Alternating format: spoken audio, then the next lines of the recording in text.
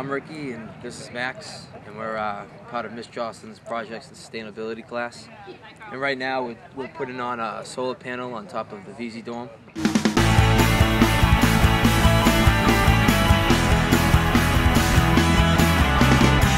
My name is Sandra Jones. I'm the co-director of the Plymouth Area Renewable Energy Initiative, also known as PAREI.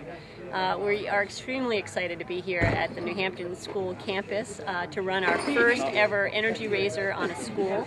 Uh, we were invited here by Ted Stiles and Becca Jocelyn uh, as part of their sustainability class and, and campus-wide effort and we are having a wonderful time. The students are fully engaged. They are truly and sincerely interested in doing something that's going to help the environment and reduce our dependence on uh, fossil fuels. Uh, my name is Becca Joslin and I'm a teacher of the class of students that are working on this project today.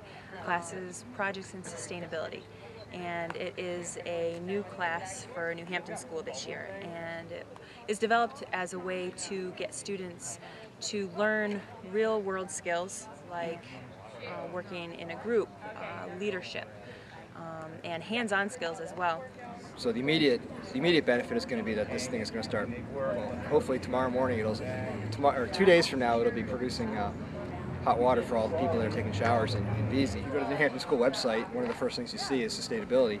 That's a part of our mission statement, and uh, we've made a lot of progress on that front in the last few years um, but there's still a long way to go.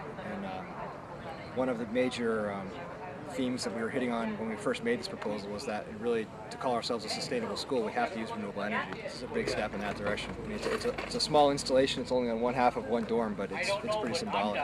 You know, this is going to be up here for countless years. I don't even know how long it's going to last, but hopefully a long time I can come back, drive by that road, say, you know, I put that up there. I think it's a great step for New Hampton. I think it's uh, the first of many solar panel sites uh, around the campus.